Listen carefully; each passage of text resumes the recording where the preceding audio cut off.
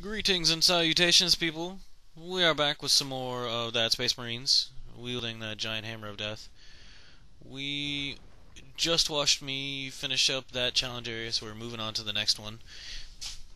It, uh, getting pretty serious in the world of the Space Marines. Things are starting to develop.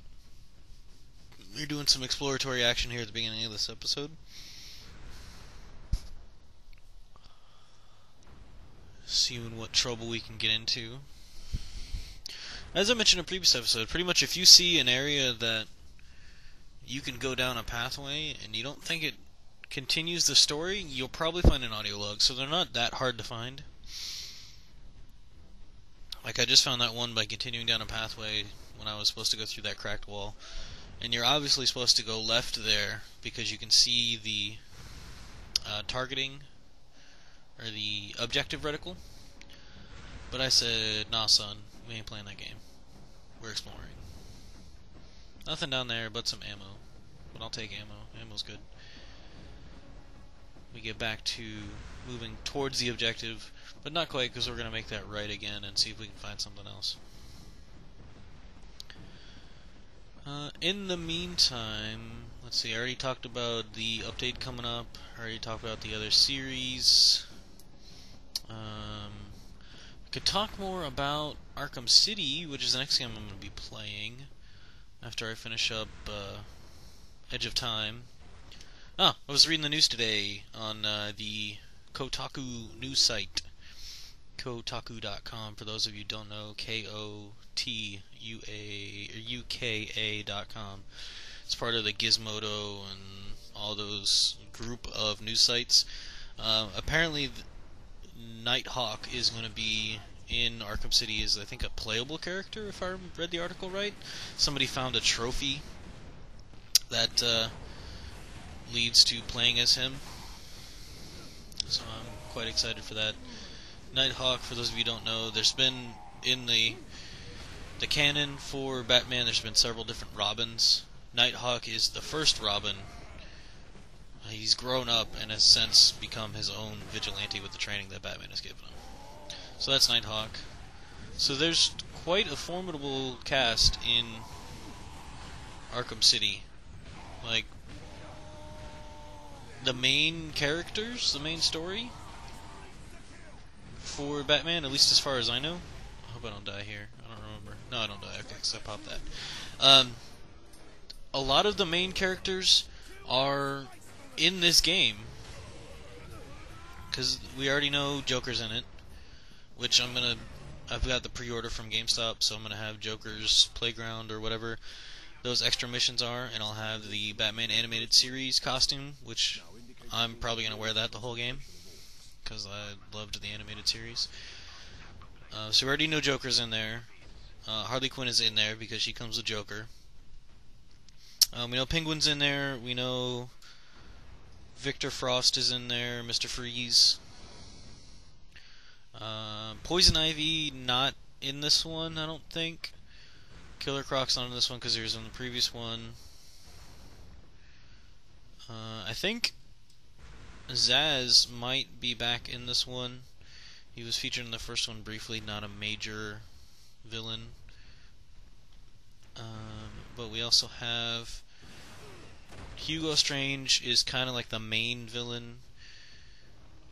Victor Fries, Penguin, Catwoman is in there. I believe she's playable for a section. I'm not sure about that. Nighthawk was just talked about. Um, Bane, I believe, is back in this one. Could be wrong. I don't know. Drawing a blank. Two Face is in it. Riddler's in it. And that's like the main, well, most commonly known villains for the Batman series, and they're all in this game. At least the ones that were not featured in Arkham Asylum. Because we had Killer Croc, Poison Ivy, uh, Bane, Joker, and I have a feeling there was one more from Arkham Asylum, but I don't remember. I know the Riddler was kind of in it, but you don't actually get to find the Riddler. You just solve his puzzles, and he supposedly gets arrested. But in Arkham City, you can apparently come face to face with the Riddler. So that will be interesting. Um, I'm probably going to do a lot of stuff off recording with this because with Arkham City because I want to find all the little things.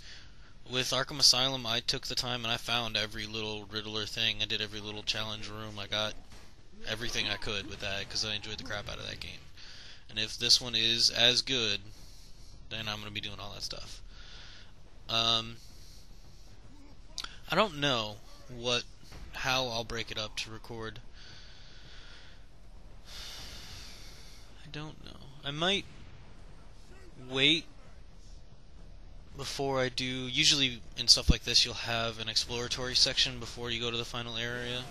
And probably a spoiler alert if you haven't played Arkham Asylum, you might want to turn it off. But, but before you go into the final section where you fight the Joker and his henchmen, there's an exploratory area where everything is open. You can explore it.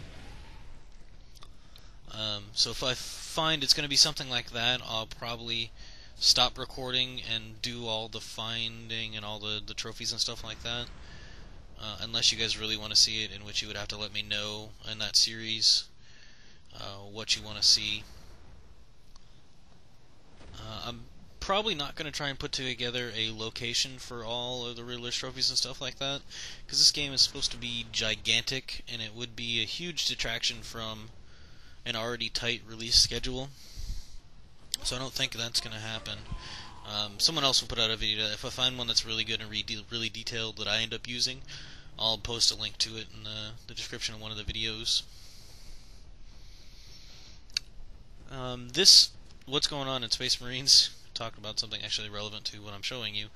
Um, there's an event that's supposed to happen. There's supposed to be a summoner, the guys with the shield that generate this force field on the wall. That was supposed to spawn. He didn't spawn. It took me a while to figure it out, and I actually end up having to go back and restart it. But I wanted to show you that you know the game's not perfect. I wasn't expecting it to be, but I was just surprised because I was being stubborn. I was pretty sure there was something that I was supposed to hit or trigger or something, but I couldn't find it, so I did a lot of exploring, being stubborn and not just going back and restarting because I thought there might have been like a secret area you hadn't gotten to yet that you needed to get to in order to advance something like that, but turns out it's just glitched out. There's supposed to be a, a miniature cutscene or something that spawns a summoner that didn't get in here. Um, so it'll there'll be thrills and frills in Arkham City. I don't know if I will show you them all. If I happen to stumble across any during the actual gameplay, I'll show you where they are. I'll point them out while I'm recording them. Well, that one will probably be a live commentary through the entire gameplay. It's a lot more efficient for me to do the live commentaries. I'm trying to shoot the pipes there and see if it'll maybe trigger something. Um, because if not, I have to go back, convert the recorded format that I have into something else, import it into another player, record the commentary while watching it as I'm doing now, and then output that to another format. It's kind of a pain in the butt. Is not really efficient, and thus I don't like it. Because in order for me to put out videos and keep up with real life, I have to be fairly efficient, which I'm not currently doing. I'm kind of annoyed with myself. I should have sped this up. But it's too late now what else? Um, Battlefield is coming shortly after Arkham City. That one will be just single player, as I discussed previously. Probably not going to look for any collectibles in that one either. I'm curious what they're going to do with the story in that one because I played through SOCOM 4 and uh, I enjoyed that. I'm kind. I'm wondering if it's going to be kind of like that, just prettier because it's you know, Battlefield Battlefield series. SOCOM focuses more on gameplay, so it may end up actually being prettier. I'm just getting frustrated and I shot the explosive barrels. Um, trying to remember what after that. Modern Warfare 3, I'll do single player, probably no frills in that one either. Um, the next one after Arkham City I'll probably spend the most time on will be Skyward Sword. There's crafting in that game to make stuff better, and you have to farm up items.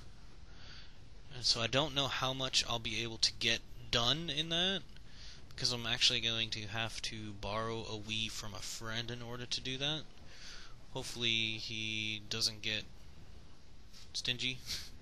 That's not the appropriate word, but hopefully he understands that the game is supposed to have 50 to 100 hours worth of gameplay.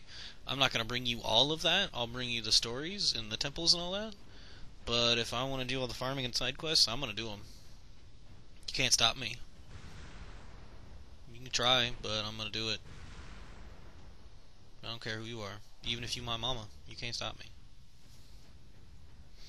And that comes out fairly close to my birthday. So I'm probably going to take a day or two off of work and play. We'll see what happens. I may just post the farming up in like super super fast mode, which would be for those who keep track as six times normal speed, and post some non-copyrighted music to it because I don't want to get in trouble with copyright infringement. But we'll see. It depends. If it's pretty boring, like if I get bored while I'm doing it, I know you guys aren't gonna have fun watching it. So I'm not going to bother posting it. I'm not going to waste you guys' time like that. But if there's interesting things I'll find, and I'll record them, um, it'll probably be. I want to use the word post-mortem, but that doesn't really apply. Post-mortem meeting after death. Um, but if I find something, I'll quickly turn on the recording and record to a little area of things that I found. Tell you what I found, how I found it, what it does. Um, just to kind of keep you guys in the loop from there. Here, I'm finally getting frustrated in the video and kind of explored everywhere to be explored. And I actually end up cutting the recording uh, and looking online to see what was supposed to happen, and there was a NPC that was supposed to spawn that did not spawn that starts the cutscene event that uh, ruins my day here. So I'm going to go ahead and end this episode because I get frustrated. I want to thank you guys for joining me. My name is Shreds. We are looking forward to games. Catch you all later. Check back for the next episode soon. Okay, thanks. Bye.